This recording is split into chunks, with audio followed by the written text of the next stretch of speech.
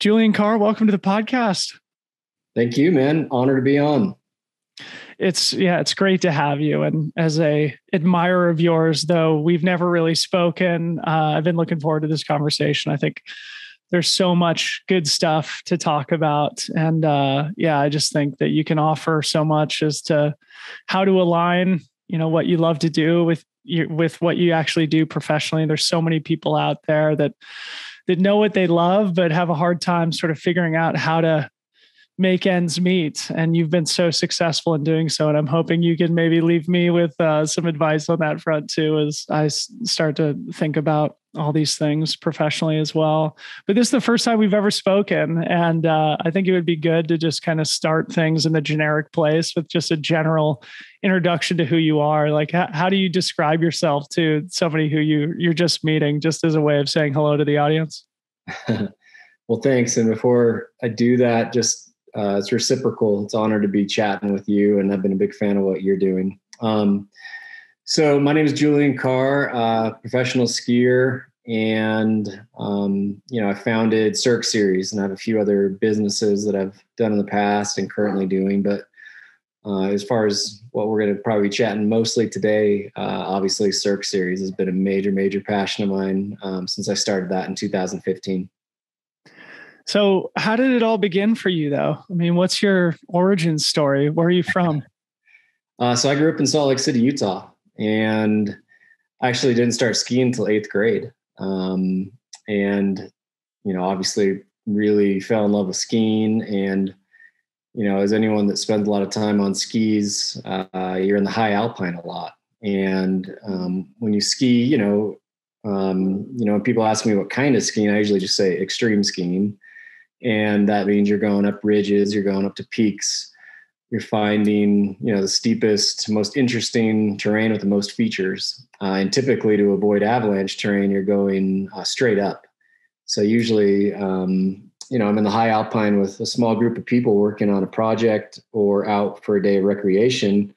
But usually you know it's considerable danger you need to mitigate. And it's a pretty special environment that you get to share with such few people. And obviously it's quite magical. Um, and that kind of uh, you know real long story short it's like the ability for me to share those sacred spaces uh, in the summer with the Cirque series and my knowledge and my background and kind of my skill set of being fluent in the high alpine is you know kind of lent me to being able to architect these courses that you know, are short and challenging. Um, and that's kind of the whole point for me because that's the way I go ski. Is I want to get up in a short fashion in the safest way possible to the coolest, highest places and ski down them. So come summertime, um, I'm so used to hiking all those types of ridges and those interesting high alpine places that I can kind of have a gauge on, you know, where where's that fine line of approachable uh, for the beginner, but still obviously really challenging for pros that still enjoy it um, and and be able to put something together like that just with a nice feel to it.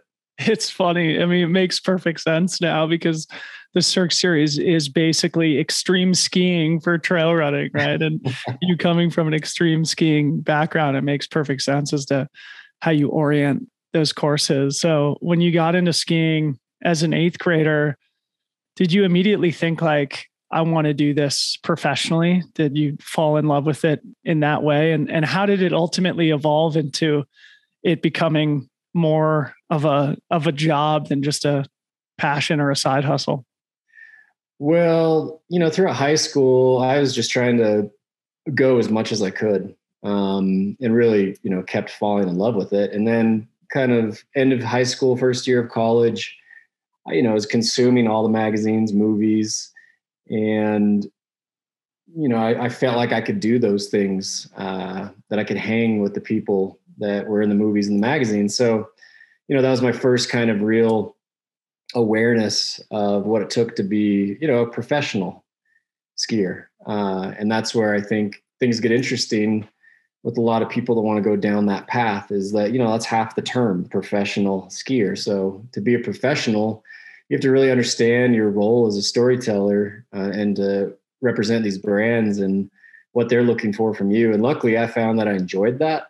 And so I found some success in finding sponsors right out of the gate because I found that I just had a natural way to understand and interpret what they were looking for. And mm. I saw the landscape of movies and magazines and competitions as like distribution. So I, I was able to, you know, seek out relationships and friendships with those distributors um, and get plugged in. Um, so that way I could prove my value to the sponsors and obviously provide analytics, have good communication, be a professional. Uh, I enjoyed that. And I think that's something that a lot of really good athletes, skiing or otherwise, get tripped up on. Uh, they might have an amazing skill set, but they're very unprofessional or don't quite understand uh, how much time you have to spend on the professional side. So they might show up for a year or two on the scene and do some incredible things, but at the end of the day, they're not going to get called back by photographers or companies or film uh, crews that need someone reliable that can get up for sunrise. They know they're going to be there. They know they're going to deliver and all the follow through and all the computer stuff. So luckily, I found I was just as good, if not, you know, at better at the professional side, and that's how I, you know, had a 15 plus 15 plus year career and, and, and still going. And um, Did you find that that was sort of your differentiator, where if you were on an equal footing with another skier, just the the hustle and consideration that you put into the professional side of things and your ability to build relationships was sort of what helped you to to build more of a career within it rather than you know just kind of doing it because it was the thing to do or the thing that you like to do but to actually like make it more of a profession Absolutely. I think that's what keeps me around. Um, uh, I think I this is important just because, like, in all outdoor sports, right? Like, it's unusual for athletes to not have kind of a side hustle that they use to help make ends meet.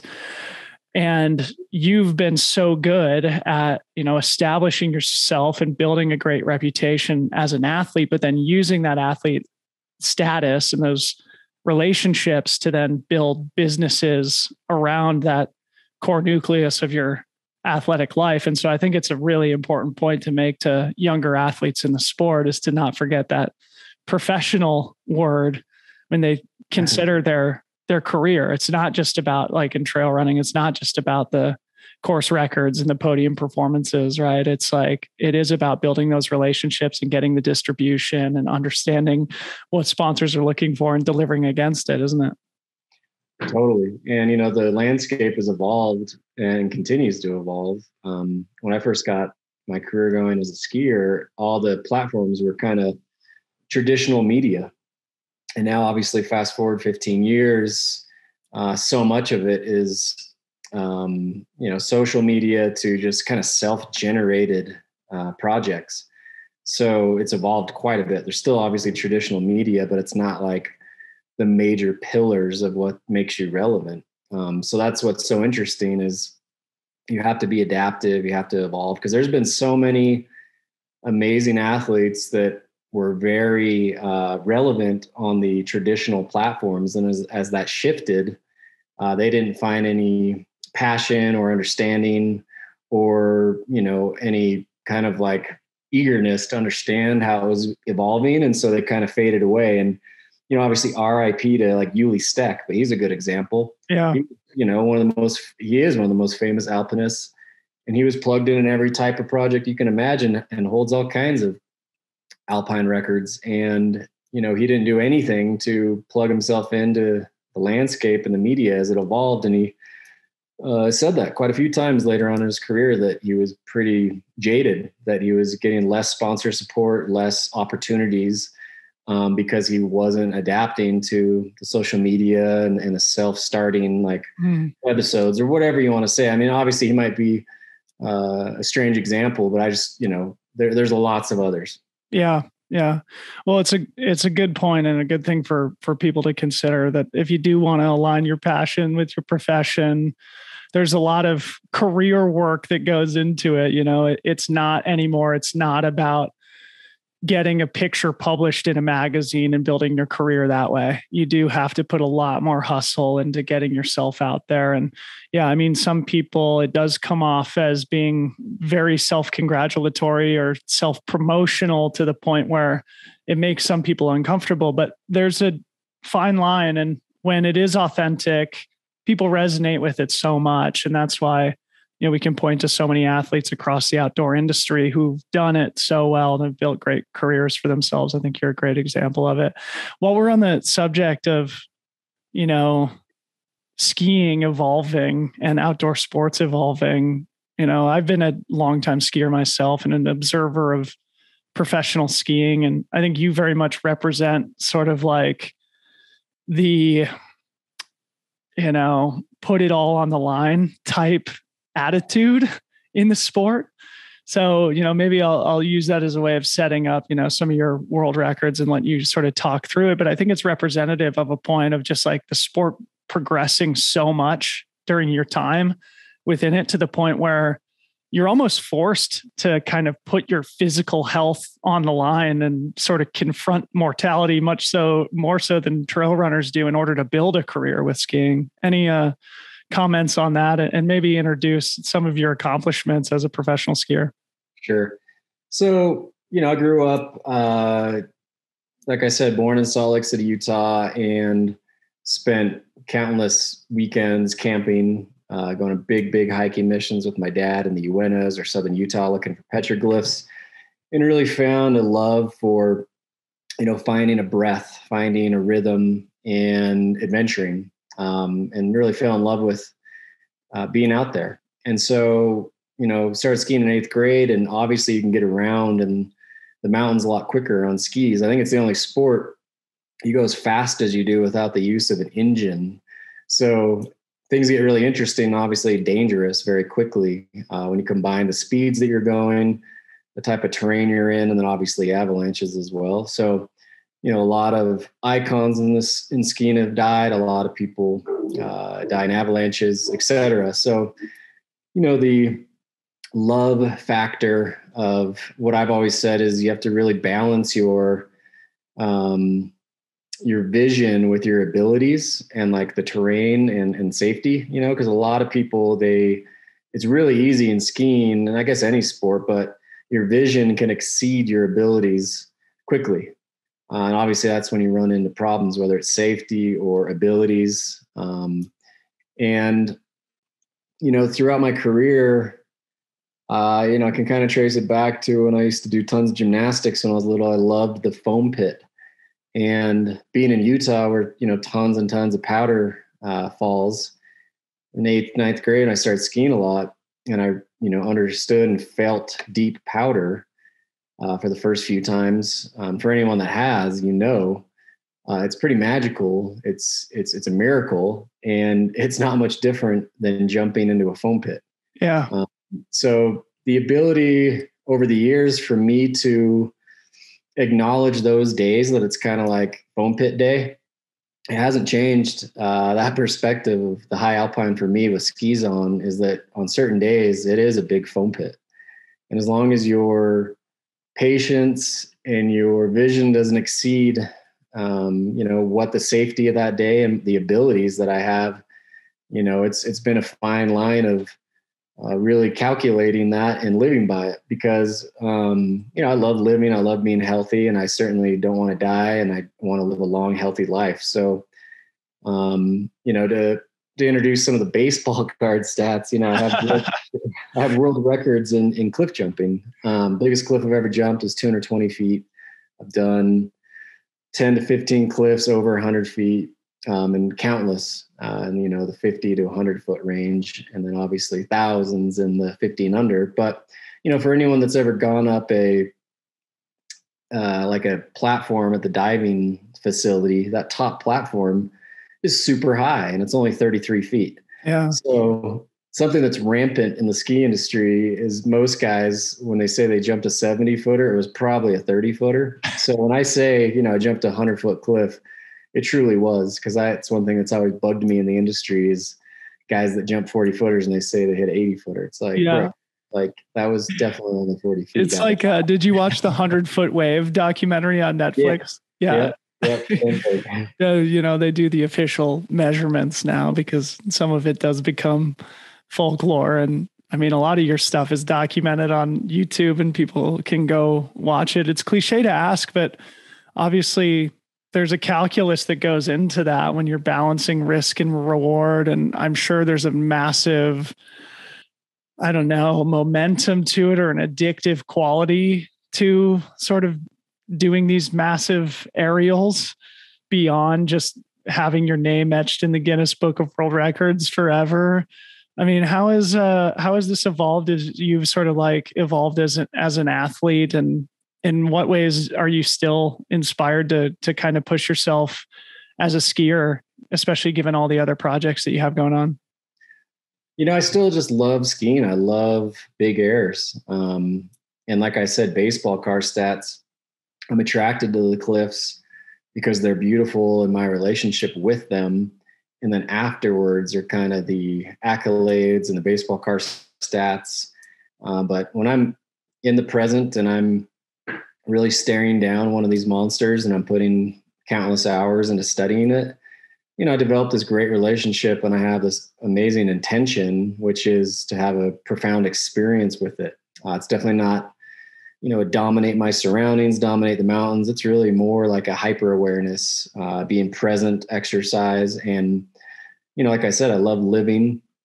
And there's never an absence of fear because people are like, oh, you're fearless. It's like, yeah. no, every time I go study one of these cliffs, I have a full cup of fear. And what I'm able to do though is, is sit with that fear and, you know, filter it. Um, I, I, use it to think critically about what I'm doing, um, whether this cliff is possible or impossible. It, it's definitely scary, that's for sure. But I can use that fear and slowly filter it and start thinking critically about actually can i do this is it humanly possible and as i start to understand you know the geometry and and the the angle the takeoff the landing things start to make a lot of sense and obviously that's a very intense decision to make. Yeah. it's life or death. So for me to come to that kind of a decision it's a pretty beautiful experience like i said it's an exercise in being present um, and getting really in tune to the point where I can concretely turn that fear 100% into confidence. Um, and by the time I've done that and I'm up on the top and I'm ready to go, I'm supremely relaxed, I'm supremely um, aware, and I'm 100% sure I'm going to be okay. And I know, obviously, when you see, when I see pictures of it afterwards, even I'm like, wow, how am I that guy? That is so weird because that is so crazy. But like I said, when I'm when I'm in it, uh, I, I, love it, and that's the whole thing is just the chase of it. I still love it, and as I've aged, I still love it. Um, and I think that's been a nice backboard for keeping me humble and grateful on this path, no matter what I'm up to. And baseball yeah. card stats are cool, but I don't. I try not to intertwine much of my like self identity into being a professional skier, uh, the, the, cliffs, and all of it's so amazing. I'm so grateful, and obviously I'm proud of it. Um, but I, I want to have, you know, quite a few things going on in my life so that I'm not so wrapped up and addicted in one thing that I got to have it or you know yeah. it's fleeting it's so you've probably seen that be the downfall of some of your contemporaries in the sport where they just need to chase the next biggest thing because their identity is so wrapped up in it. And yeah, yeah, I think that's something that probably a lot of action sports athletes uh, struggle with because your career, your you know, your shelf life as an athlete is only so yeah, it's limited. So yeah. And I can't blame some people. I think I'm lucky. I think I'm fortunate that I have so many other interests. Well, yeah. I mean, you've been able to build so many things peripheral to that core identity of being a pro athlete that you haven't had to hang your hat on only that. And I want to get into more of that stuff. But this also makes me want to ask you as we briefly touch on the 100 foot wave and Garrett McNamara, just brings into my head the bifurcation between it exists in trail running, it exists in surfing, and it exists in skiing to a degree, like the bifurcation between competition and sort of the lifestyle element of the sports, right? And I think as each one of those sports began to mature, it de-emphasized the comp- the competitive side of things and became more about you know filming in the case of both skiing and surfing and now like the FKT movement in trail running and I think this goes into what you were saying earlier about the power of storytelling and that uh, being something that is not only immensely inspiring to the general public but also valuable to brands. Do you have any comments on that bifurcation or that similarity that I've identified between those outdoor sports and maybe how it's fit inside your career? Yeah, I think that as all action sports over the last 20 years have just exploded, like all those storytelling platforms have been evolving, like we've talked about. But I also think, um, you know, more money is in action sports than ever. And I think more gifted media types, more gifted storytellers, filmers, photographers have gravitated to the space. And with the immense success of, you know, some of these climbing uh, films that have gone really mainstream in the last few years, uh, it's just these amazing creatives are in the space now. So there's so much more that's out to the general public now that may not ever participate in some of these uh, sports. Whereas 10, 15 years ago, pretty much whoever played that sport or participated in that sport is the same people that consume the media. And now it's just there's so many platforms for it to be consumed. There's a lot more money in it, whether it's the endemic industry or the media like landscape in itself that's funding these projects. So, like I said, I think it's a good point because it is amazing. There is so many gifted storytellers now that you can basically choose any action sport and see amazing cinema, amazing storytelling, and amazing. Um, you can learn so much about whether it's a rootsy kind of unknown that you know some interesting film company wants to highlight some obscure person in the industry, um, or it's just some of the most famous people that have been around, and some of the the, the personalities that we all know in all these sports. Yeah. You can just find it, and it's it's pretty cool time to be uh, involved in and, and see all that. Yeah.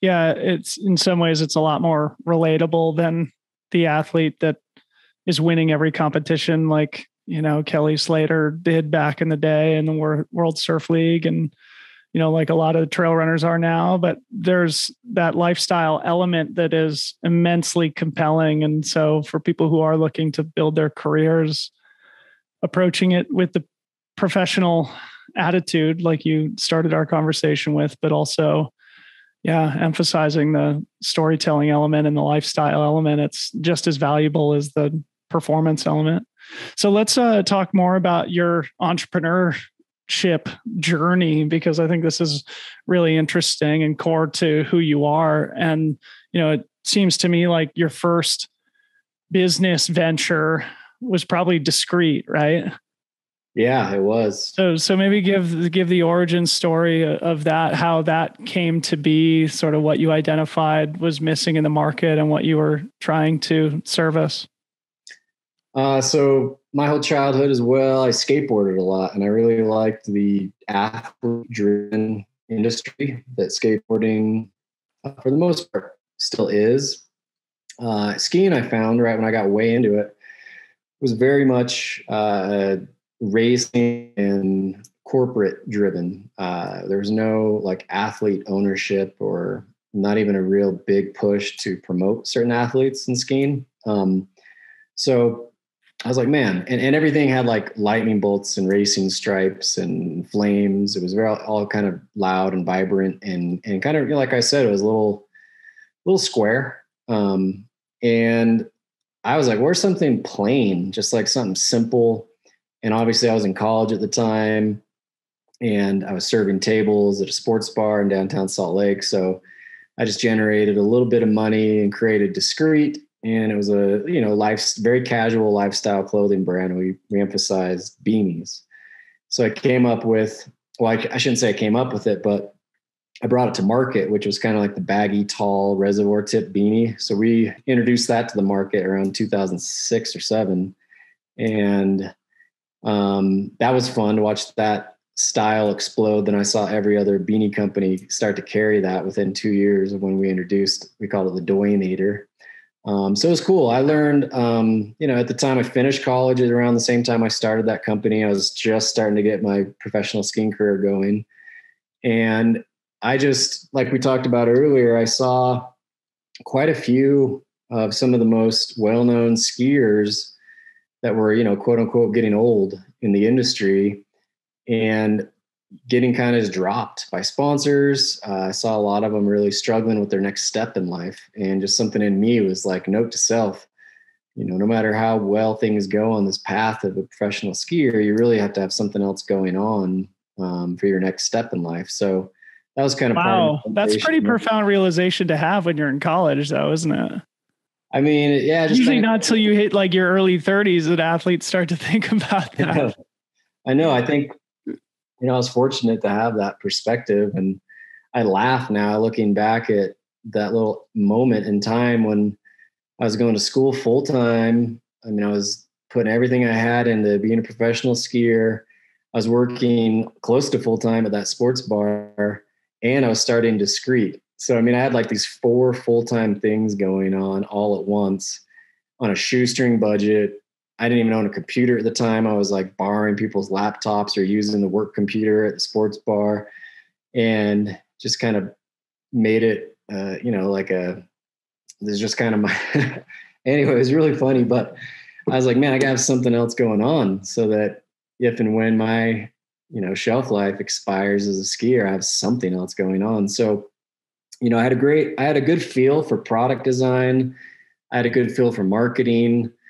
Um, you know, I, I, figured out supply chain factories in Asia, uh, did all those logistics. I was the sales manager. I did all the um, accounting for the most part, and just all the moving pieces of what you call running a business. Uh, you know, really, that was a harsh reality, and I learned a lot. And I was constantly um, confronted with things I didn't know the answer to or a major challenge. But I was dedicated to making it all work. So you know, that was like a 13, 14 year project. And I can proudly say I sold Discrete in December of 2021. Um, so I could put my full attention on how much I was really loving all the factors that go into producing the Cirque series. Because uh, I just found I was a little jaded with some of the things I had to put a lot of time into with running Discrete, you know, obviously a retail clothing mm-hmm. brand. Um, I just wasn't in love with a lot of the things that it took to run that company. So uh, I can luckily say I, I, really enjoy everything it takes to run uh, and produce the Cirque series, which was great. But the Discrete was such a fun project. We made a lot of great decisions. We I made a lot of bad decisions, but in the end, it was this invaluable experience and this invaluable education. Yeah, how to run a business, uh, literally. So by the time I could combine everything I'd learned from like a the role of producer in the skiing world and marketing and combine that with everything I'd learned about running a business with Discrete. So when I had the idea to create Cirque series, I really was intentional and I knew exactly what I was doing. And I saw this gap in the mountain running landscape of what what what there wasn't, I thought. And that is exactly what the Cirque series was. And I was at the time you know, falling in love with mountain running because I got this great dog and found myself running Mount Olympus all the I shouldn't say running, torture hiking Mount Olympus yeah. like multiple times a week. And so anyway, I just was like, I know exactly what I'm doing because I, I have this great background of being a professional and starting this business. So I know how to do this now. There was no like mystery behind the curtain that I knew I had to confront every day with Discrete. This time I was like, I know exactly what I'm doing. I'm going to be intentional and, uh, and I'm going to pull it off. So it's been really fun to see everything come to fruition since we started those. So, so interesting. I mean, correct me if I'm wrong, but thinking back to the early days of the Cirque series, I want you to give that full origin story too, because I think it's it's also equally fascinating and especially to see how it's evolved and where it's headed into the future. But it seemed like at the beginning that the Cirque series was almost a way to market Discrete, right? Like you guys were probably slinging a bunch of dis- Discrete apparel, hats, beanies, hoodies, etc. at the Cirque Series events. Did, were they always meant to be independent, or was the event side of the business sort of meant to bolster that retail side of the business? Um, I don't know. What point did it maybe become clear to you that the Cirque Series was where you wanted to devote more of your time and energy?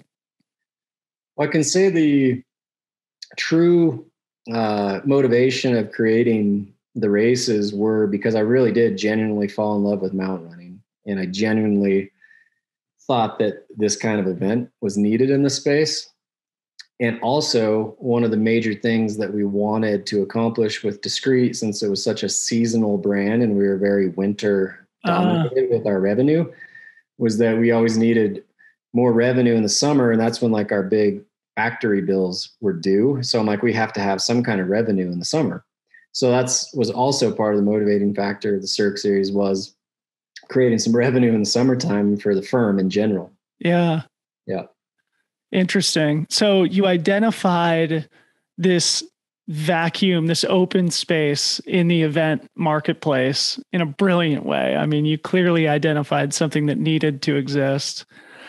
And that I think not only is very compelling on its own, but acts as potentially the perfect gateway drug to get people into trail running and to build their interest in it over time. And to make it clear, especially in the US, that you don't need to run a 100 mile race to get into trail running. So, to, to what extent were you exposed to trail running at the time that you identified this need? Did you have like a deep understanding of the sport and what was like the light bulb moment where you sort of came to the conclusion that you needed to bring the Cirque series to life? Well, I can say how just a moment ago, like being a gateway drug, it's been really fun for me.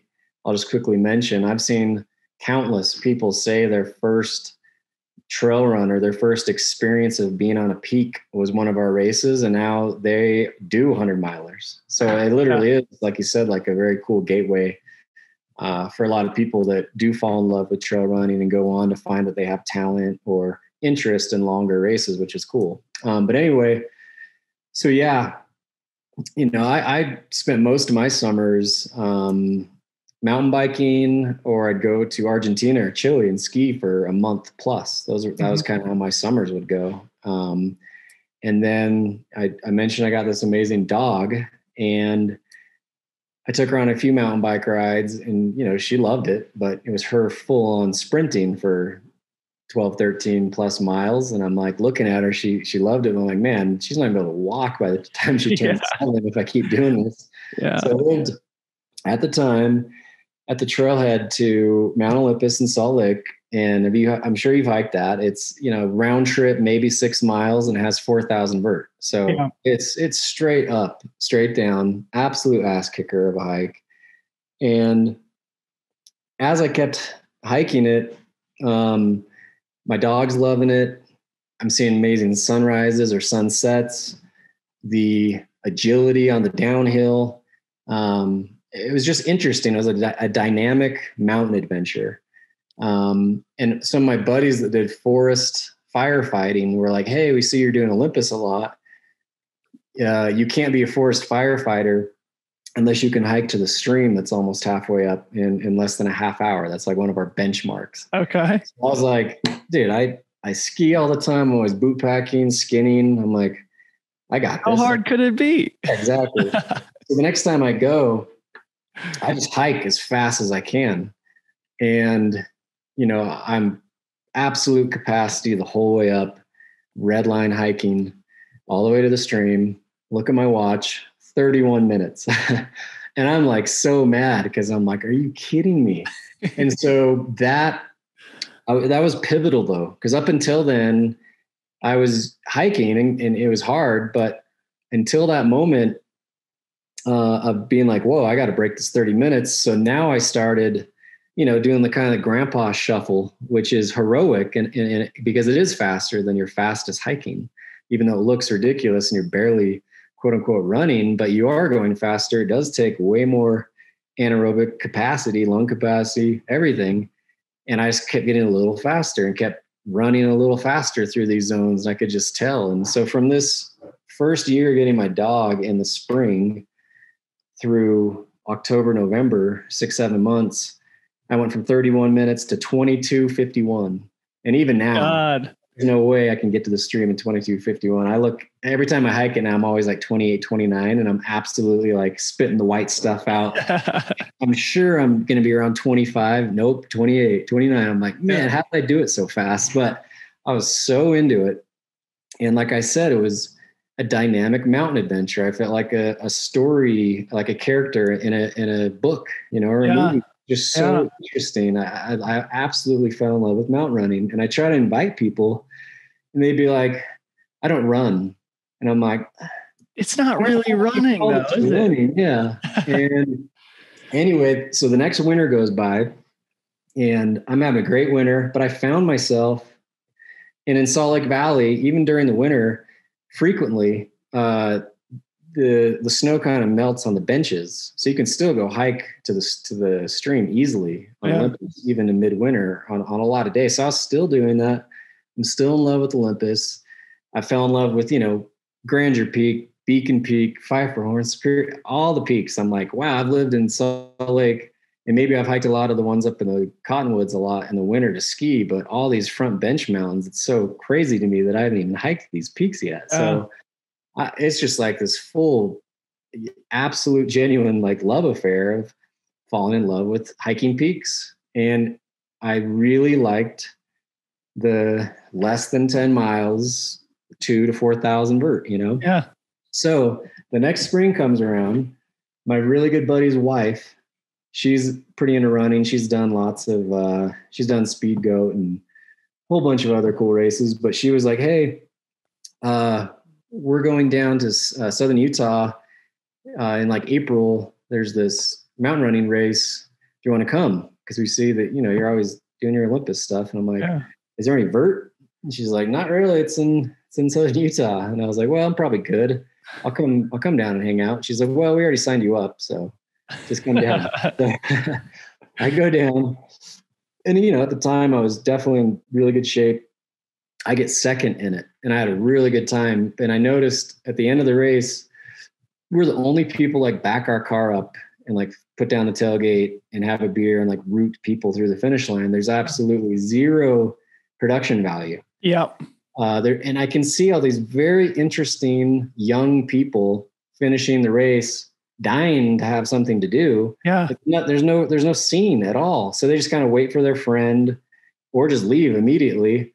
And I'm like, looking at the guys that are throwing the event, there's like four or 500 people there, cost 80 bucks. And I'm like, man, good for these guys. They're, they're pocketing 30, 40 grand. Yeah. They're here as hell not spending much on this event, but it's beautiful, obviously. So the wheels started turning. Well, if you, turning.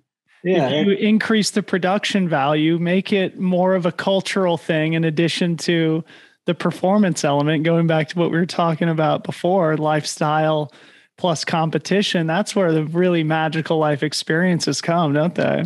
Exactly. And luckily, at the time, I was also a GoPro uh, athlete, and they, uh, you know, have the GoPro Mountain Games in Vail. Yeah. And they were like, "Hey, just come and hang out. If there's any events you want to do, just let us know." And I noticed they had like the mountain 10k or 15k or or whatever it is. I'm like, "I'll do that." So I signed up also thinking I might podium because I just podiumed this little race over in Moab. Anyway, I go there. It's like, you know, the Sage Canadays and Joe Gray and all, all, all the fellas, you know. Yeah. And obviously the race starts and I'm just like kind of crushed because I realized I'm actually not even close to being fast. I'm like, who are these freaks? I'm like, this is crazy. But anyway, the production value is amazing. Um, but the course design failed. There was no sense of accomplishment. There was no sense of destination. We're in this beautiful place. I felt like they just ran us up around the aspens and figure eights until we hit the 10K mark, then brought us back down to the finish line. Yeah. Again, I was like, wow, another missed opportunity. The production value is there, but there was no sense of destination. There was no sense of accomplishment. So that's when I really was like, well, I'm going to go home and Google, you know, where those events are that that have both of hiking a cool peak and obviously I found all the ultras. I found the Speedgoats. I found the broken arrows. I found um, all the mud runs, color runs, Spartans, relay races, all that stuff, all the mom and pop marathons, 5Ks, 10Ks.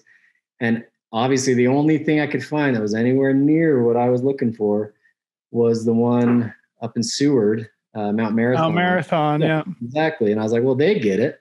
but yeah. the entire lower 48, I was like, there's not a single race. I thought I'd find a bunch in Utah alone. Yeah. And right then I was like, man, I should create like the Wasatch Classics and actually have a race on Olympus, like first yep. one top and back down and do it at Grandeur Peak, Beacon Peak.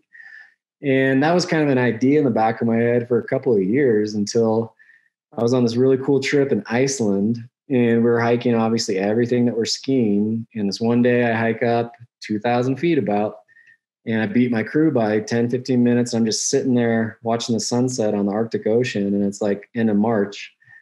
And I just have this overwhelming like vision of starting the race series. I'm yes. Like, gonna do it when I get home. I was just, I never, you never feel, you know, so uh, good than when you're out in the mountains exercising. Yeah. Like, this is something that will work. I'm like, I fell in love with it it's just it's not quote unquote running. And it was just this uh, instinct that i had that i knew uh, more people would fall in love with it and that it, you didn't have to be elite. You didn't have to have to do 100 miles. Right. So, it's like it's like that big city half marathon. You know people want to do it because they want to just challenge themselves, but not absolutely destroy themselves, like doing a full marathon or a full hundred miler. And I think the Cirque series really represents that of like, go have a proper adventure, challenge yourself, push yourself, have that sense of destination, that sense of accomplishment, but also, you know, finish and have plenty of time left in the day to whatever, hang out for a couple hours at the finish line, go have lunch and get your chores done in the afternoon. It's a brilliant model. And I, you know, I'm really glad to hear that it has been sort of that first step for people to dip their toes into the water. And I think maybe over time it becomes kind of a great alternative for people who would otherwise sign up for a big city half marathon. So talk a little bit about the progression over the last couple of years. When was that year like where the first Cirque series race happen and and like m- maybe just paint the picture of how that's progressed now in the last couple of years and how you've expanded it. So first year that we had races was 2015 and so obviously that was march when i made that decision. Our first race was you know four or five months later august 6th at alta utah. Mm-hmm. and we also produced uh, three more races that uh, late summer fall in Crested Butte, Deer Valley, and Snowbird. So we did four races out of the gate, and it was interesting because my vision of what I wanted the races to be, uh, the type of people that show up, uh, the number of people, and the atmosphere.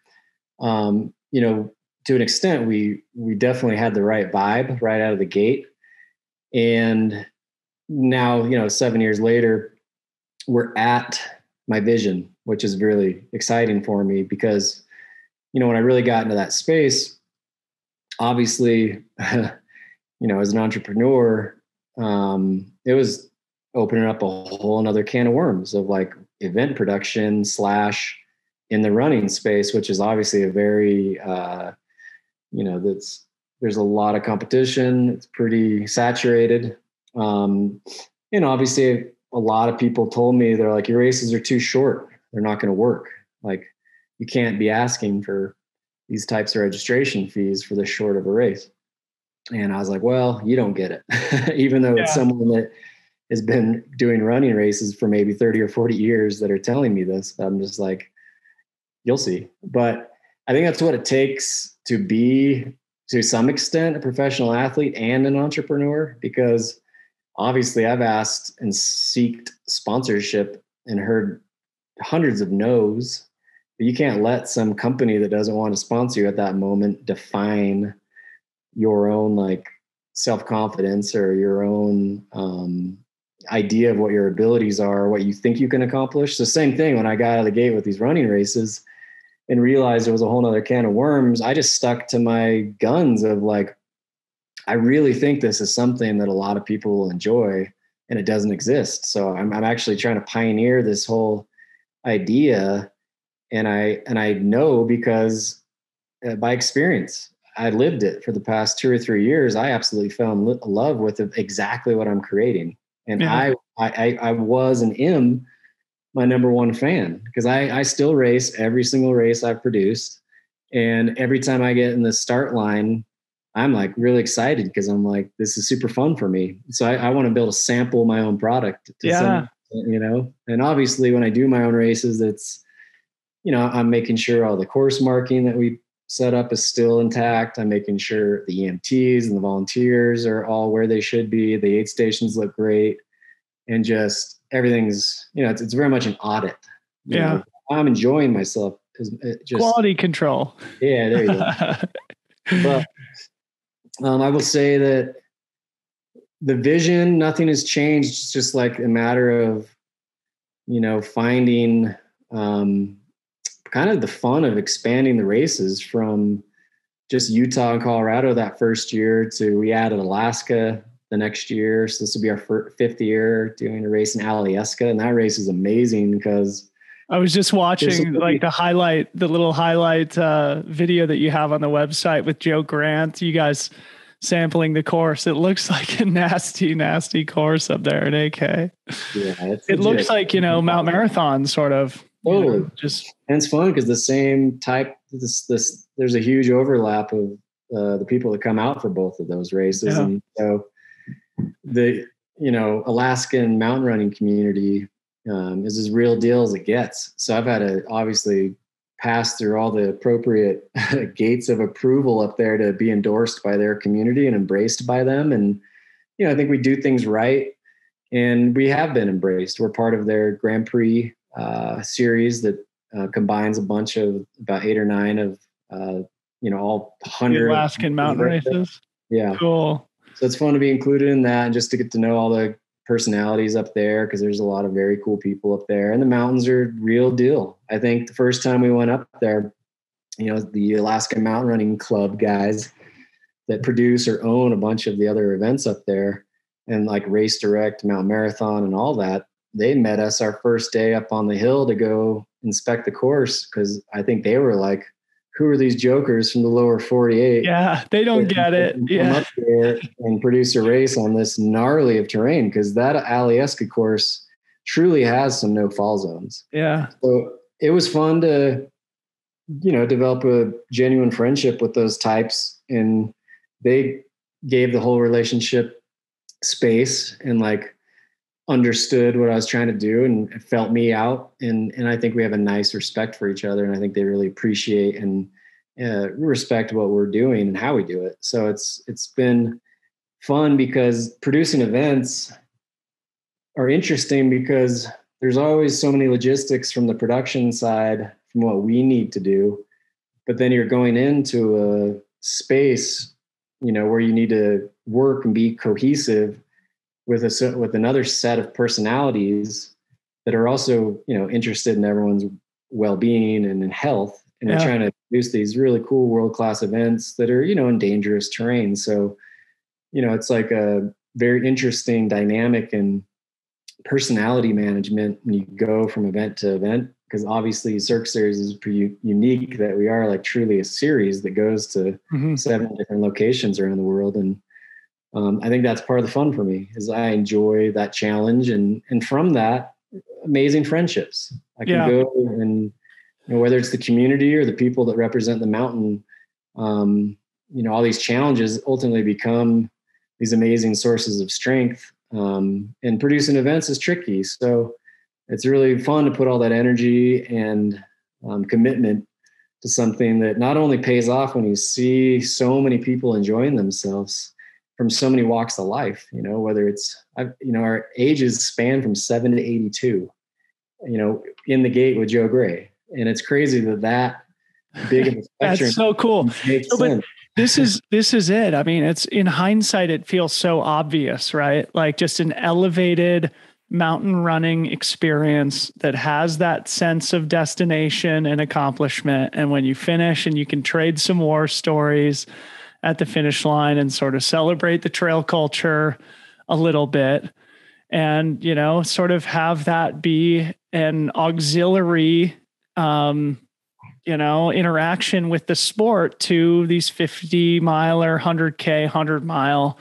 races as well. It just seems so obvious. At what point did it start to become clear that it was kind of catching on and that your vision was like you weren't crazy. And i know obviously you've developed partnerships with on running and backcountry.com it looks like and i freaking love the interactive maps you guys have on the website from onX like talk about that professional side of the Cirque series and how that all started to materialize and at what point people started to recognize that your vision had legs. Well i think from the very first race at alta um, we had some you know the major personalities of the you know wasatch mountain running community came out for the event, um, like Craig Lloyd and the DeRay brothers and Zach Marion and um, all these guys afterwards came up to me and they were just like, dude, you, you're so nailing it. Like, yeah. please, please keep doing this. This is what we need, not only in Utah, but for trail running in general. This is amazing. So it was cool to hear that affirmation from those guys because I really respect uh, mountain runners. I think you know you guys are superheroes to me um, because you know I finish middle of the pack usually at these races, and I absolutely love what I do. I love the adventure. I love traveling through the mountains, and obviously to see you guys, you know, already getting up on the summit when I'm still working away the side of the the, the shoulder, and just to see how fast you guys are is it's so inspiring. Slash, you know. frustrating because it, it's impo- you guys are so impossibly fast. So I think to have a race where you know a bro like me can really love it um, along with you know a grandpa type in that age bracket. And then it still be enough of a challenge that you know professionals want to show up. That i've always placed a lot of emphasis on having good prize money. And a big part of that environment when you finish a race you know, is having really cool brands involved so that we can make, uh, for me, again, going back to skiing, when you're done with a day of skiing, après is just as important. You it's so to, true. Yeah, you want to yes. talk about the day, celebrate the day. So I try to, I've, I've put just as much emphasis into the after race environment as the race itself because um, I want people to celebrate their adventure. Um, and it's been fun to see that come together as well. And, and a big part of my ability to bring in you know usually we have around 30 to 40 brands that are there activating. And it's i think just because from again all the you know role of producer and sponsorship language i've learned as a skier i know how to go to the brands and be like hey here's an awesome opportunity to you know get plugged in and, and have this be a big win-win so I think I can just, you know, pretty, you know, two plus two equals four kind of a thing. It's like, let's all get together and hang out and have a good time. Yeah. It's pretty easy for sponsors to be like, yeah, definitely. Let's do it. Game yeah. on. I'm like, sweet, let's go. well, it's so cool what you've created. And I so I still have never been to one of your races, but I, I so want to. And I know the season is fast approaching. So let's use this as an opportunity to sort of talk about what's coming up this year. Um, you know, it seems like the the first race is coming up in Brighton, Utah, in a couple of weeks, and it seems like this is the first year that you're expanding into the European market. So maybe just give us a quick tease as to what you're looking forward to for this summer Cirque Series.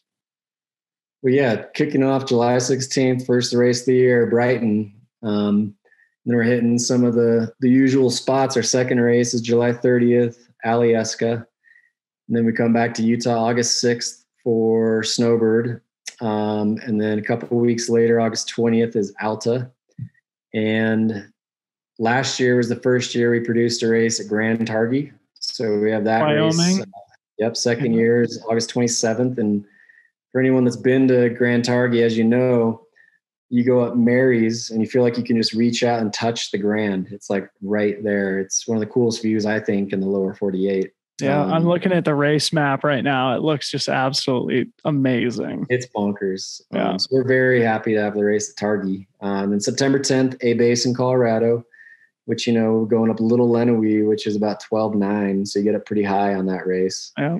Um, and A Basin is just this really cool independent resort that is really embraced by, you know, I guess Colorado. Yeah, it's sort of like one of the locals ski resorts for people who live on the Front Range in Summit County there in Colorado. So super honored to have the working relationship with them. And then closing out the season, first first time we're going over to produce a race in Switzerland at Engelberg, which I'm really excited about.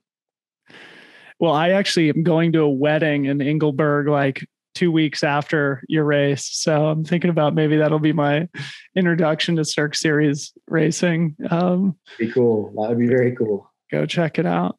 So, you know, maybe as we start to wind down, I'd love to hear if you to what extent you want to reveal, you know, maybe some of your future plans. To me, I think one of the major opportunities for you that I think would also be massively valuable for the sport is to introduce you know more kind of like broadcasting of this type of event because i think the format is such that it's dramatic it's exciting the visuals the landscapes are brilliant and because it's not 100 miles people don't have to tune in for 20 to 30 hours to get you know an inspiring viewing experience. They can watch the race over the course of an hour or two hours and then get on with their day. And then obviously you could cut things up and put them on social, which you already do, obviously. But um, you know, to what extent are you excited about, you know, potentially introducing more media, maybe broadcasting, things like that? You know, I think um, the big scheme of things, I'm really happy with the seven races that we're producing. And i think just optimizing the seven that we have is probably like my two to three year goal. Um, every year i have like target expansion regions that i really really want to add more races. And i've gone to you know out east i've gone out up in the northwest and, and tahoe and places like this to really critically look at some key target expansion areas. But at the end of the day like we still have a lot of uh, targets I want to hit with the races right now. Like, you know, we can drop registration and we're selling out our races, but it's typically just a couple weeks before each race. So mm-hmm. to me, I'm like, once we're starting to sell out races like a month or two in advance, uh, I think to me that's when we're in a position that we can expand comfortably because I yeah. still want to optimize our workflow. Uh, you know, all the production um, efficiencies. Uh, so there's still a lot of stuff I want to do on my end, and producing seven races uh, still a pretty you know gigantic task. But there's still enough breathing room in the summer that my crew and myself we still feel like we have a summer.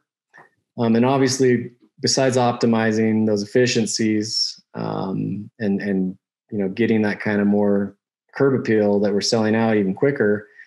Um, it's just so I can plan ahead financially to really be able to um, target what these new opportunities are which like you mentioned is you know what exactly can we pull off on the um, on the broadcast side? Like who can we reach out to that could be a good prod, broadcast partner? And, and how can we afford that? And those kind of things because i know from like you said where we're going the visuals alone are enough uh, criteria to have compelling TV. But then you add in the the professionals that are there, who they are, and then some of the beginners. I've seen people come and do our races that are complete beginners, and now they have sponsors. I've seen um, people come that you know maybe it's like a goal that they've never been on a summit before, and they're really determined. Yeah. Um, and they might and they might even finish last, but they do it, and it's incredible. And I love those types of personalities and those kind of stories because I think, you know, the, the denominator with Cirque series is that we're all inclusive. It's a very uh, friendly environment for all abilities. Yeah. Uh, and I think that for the pros, it's kind of fun for them because I think for the most part, they're doing events where they're around their peers, you know, and suddenly they're at an event where they have a ton of people fanning out on them. Uh, I can tell it's pretty special for those pros to have that podium experience, hanging out in the vendor village experience, and being approached by so many people that are genuine fans instead of just their peers. You know, yeah. so I think for them it's also quite fun. Um, so I think it's just really uh, not rushing, not getting ahead, uh, uh, you know, of what we're trying to pull off. Because I think there's still a lot of things I want to uh, get better at right now, um, and I think that, like I said, there's I definitely want to go out east. I definitely want to go northwest. I want to go to New Mexico. Are you, are you kidding? I, would love to have 20 races, you know? Yeah. But I think I think there's room for it. I mean, already there is, there really the, is. The challenge for you is, yeah, that exactly that, not trying to do too much too quickly. And I think as an entrepreneur, oftentimes that's a difficult thing to manage, and maybe something that you learn from your days doing Discrete um, is to ease off the gas pedal sometimes and find those efficiencies before expanding too quickly. Exactly. So even this year, deciding to expand to to Europe was obviously a big decision. Um, but I'm really glad that we went through with it. And Engelberg is one of my favorite places to ski. And I know a lot of people in that community. And I, you know, definitely had a lot of heavy lifting done with a lot of help. Um, so, you know, it's a lot of these community ties that I've had for a decade plus as a skier over there. And it's been three years in the making. So to finally get all these green lights on all these hurdles we needed to clear. Uh, a big decision. So I was already pretty content with a six that we had and just be, being like, all right, let's do, let's get, because we have the opportunity, we, we cleared the hurdles, let's do it. So yeah.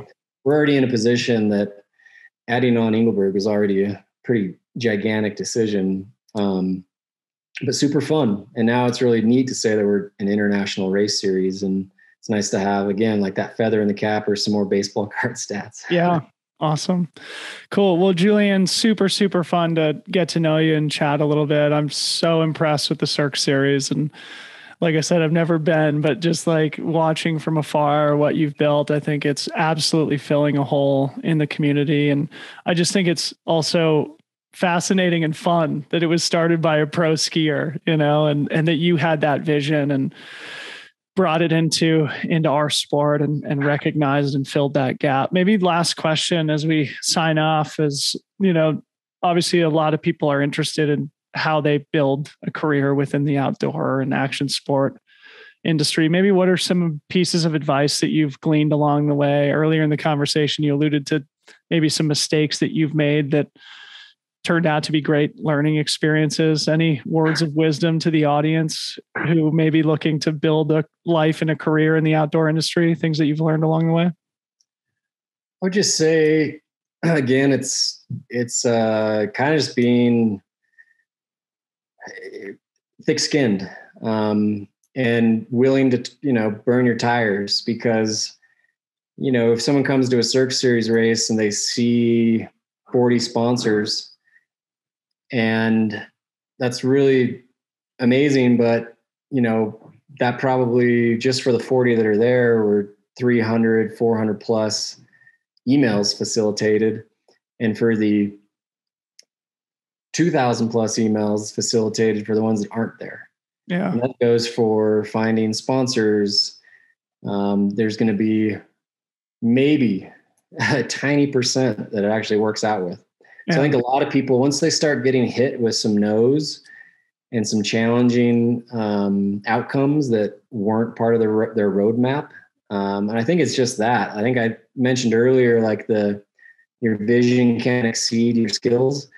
I think it's the same thing with the professional side. Is you you you should be able to forecast and script, but you know not to the point where your expectations um, become your plan you know, because you're going to be let down a lot and you need to just expect that really. If you want to create expectations, it's that yeah. there's going to be a lot of challenges, there are a lot of roadblocks, um, but you just need to take it um, and just not take things personally. And for the most companies most often isn't personal. It's just a resource, a bandwidth, and you, you don't dwell on it. You get good at making decisions, and you do it quickly, and you keep moving. You know, keep yeah. keep spinning tires. yeah, I've been doing nothing over the past year and a half, but listening to podcasts about building businesses, building media companies specifically, and listening to one recently about you know what things successful businesses had in common and it was basically just that they didn't quit. It's the ones that just keep moving forward that uh, ultimately you know can look back and be proud of what they've created. And obviously it's not without an avalanche and never ending stream of challenges but well uh, i'd love some time to be able to flip this around and interview you because i think uh, what you've done obviously as an athlete and um, you know building these interesting storytelling platforms and uh, you as a personality as well i think it's uh, very fascinating. And just for me being from the ski industry and coming into the mountain running space and producing these events it's been awesome for the most part to be welcomed. And, and i've tried to understand who exists yeah. Uh, I try to high five as many people as I can and just realize we're all one big happy family uh, and that we can all help each other out. So thanks for um, endorsing what I'm trying to do. And I really appreciate it. And I think it's amazing everything you're pulling off as well. My man. Well, thanks so much, Julian. And uh, yeah, I look forward to to watching from afar what you guys put together this summer. I hope it's a really successful season of the Cirque series. I'll make sure to put a bunch of links in the show notes so people can go learn more about the races that you put on. And yeah, uh, look forward to following all of it going forward into the future. And I hope it, I really am confident that this is going to be an important piece of our sport in the long term of just introducing more people to the spirit, culture, majesty of mountain running. And a big thank you to you and the team for putting it together. You bet, man. Well, I look forward to seeing you at one of the races someday. And uh, thanks again, man. Great to be on the show.